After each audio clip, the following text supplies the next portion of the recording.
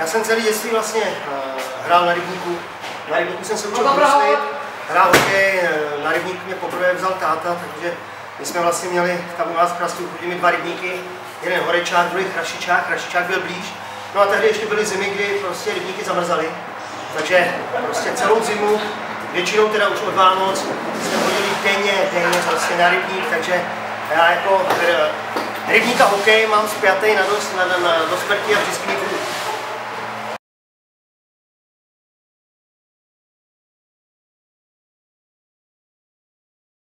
Trénovat chodíme, ale samozřejmě to je úplně něco jiného, než vlastně hrát tady, nehraje se vlastně na, na velký brány, hraje se po ledě, je to jenom odehrávka, hraje se bez golmana, je to myslím si úplně jiný hokej, než vlastně jsme zvyklí hrát.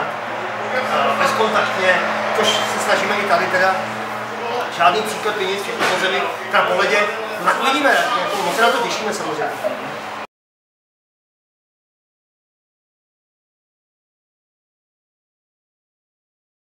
Zatím, zatím soupisku nevím, a máme širší kádry, ale víte co, sestava se neprozrazuje dopředu.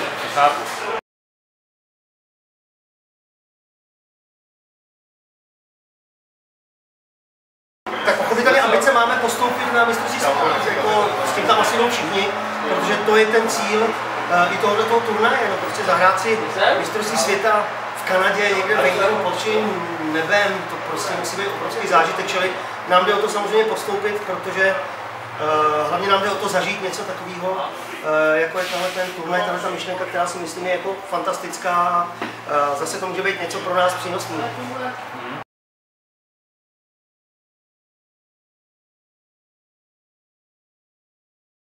Hlavně si to užít, jo, hrát s, s radostí, s lehkostí. Já si myslím, že máme tu zábavu, ten zážitek a ten výsledek asi není až tak jako důležitý. Samozřejmě člověka vždycky mrzí, když prohraje, ale jako nemá cenu to nějak jako nadmíru prožívat.